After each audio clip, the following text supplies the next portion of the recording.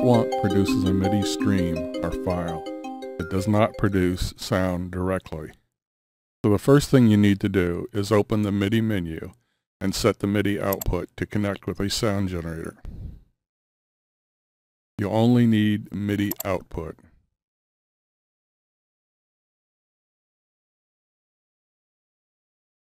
The Microsoft GS Wavetable synth is always available. Load the finished tutorial from the examples folder for an overview.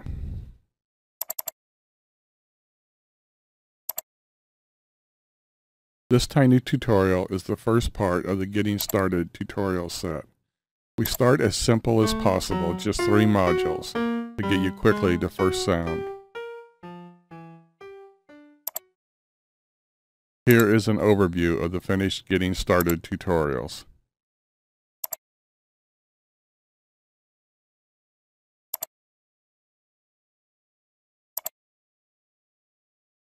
The top area is the panel for user controls, knobs, sliders, buttons, etc. The lower light blue area is the workspace for the modules that create the patch.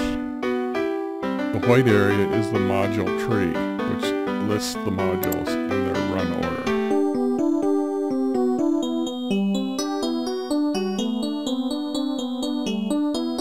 Modules can be nested within macro modules. Click on the at symbol to enter the macro module and show it in the workspace. Many modules have a properties pop-up. Exit macro.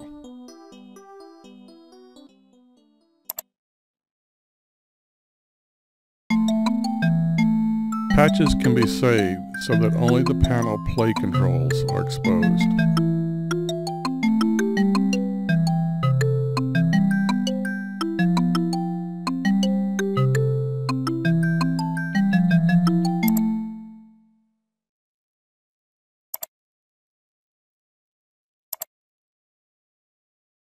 The tiny tutorial can be found in the manual introduction page.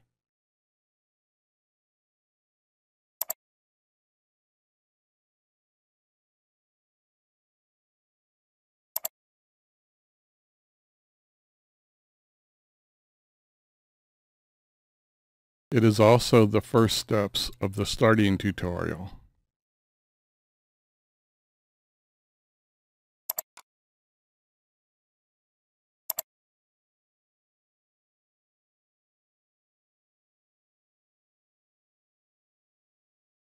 Start with the basic clock module.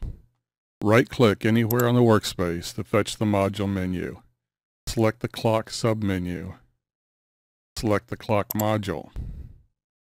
Left-click and drag to move the module.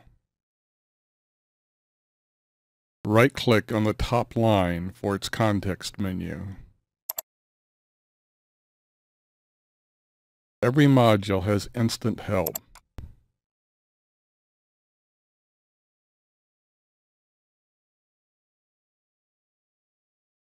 Hold the mouse over labels for balloon pop-up help. Light blue text boxes are module outputs. White text boxes are the module inputs.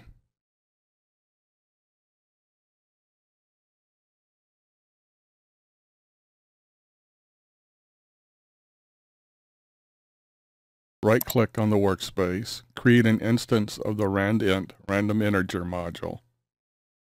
It's in the Patterns menu group.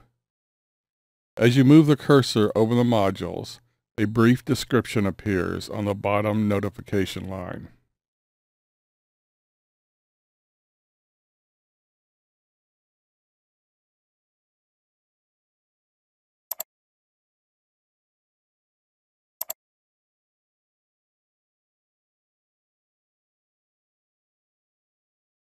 It's always a good idea to check balloon help on an unfamiliar module.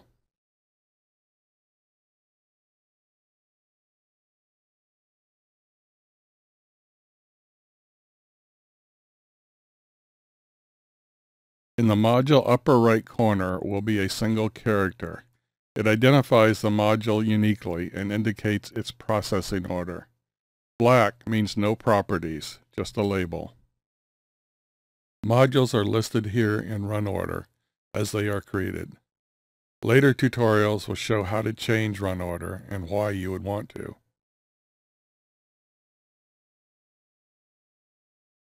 Here the run order label is blue, meaning this module has a properties pop-up.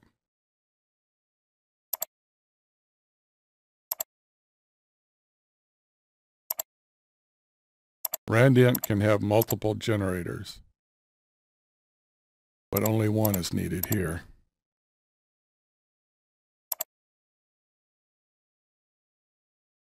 Drag and drop to connect the clock module strobe output to the RandInt module strobe input.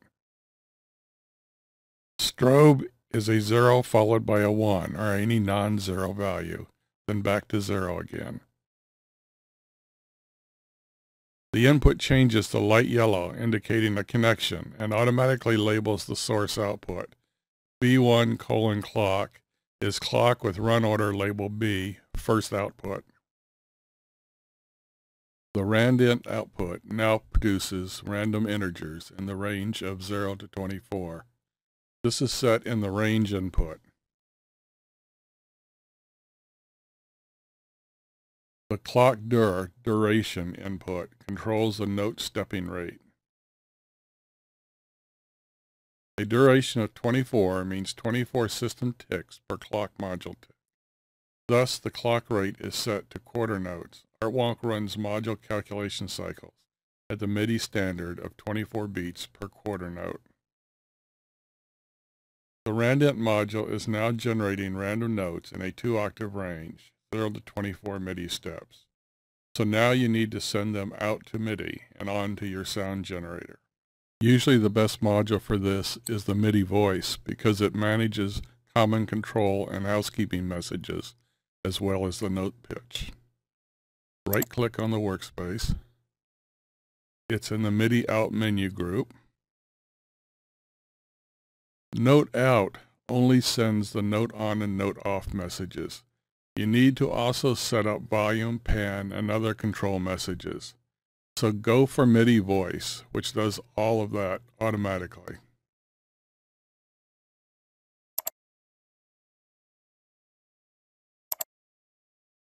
MIDI voice looks intimidating, but you only set the input you need. All the rest work fine with the preset defaults. The clock input controls note on-off timing. Drag and drop the clock module strobe output to the MIDI voice module clock input. The input changes to light yellow, indicating a connection, and labels the source output. B1 colon clock is clock with run order label B, first output. Connect the RandInt output to the MIDI voice note input. As always, drag the output to the input and drop to connect them. The input turns light yellow to indicate a connection and is labeled with the output it is connected to. C1 colon RandInt is RandInt module with the run order, also called priority, at step C, first output. The MIDI note pitch sent is the sum of the note input, the RandInt 0 to 24 values, and the transpose value, which defaults to 48.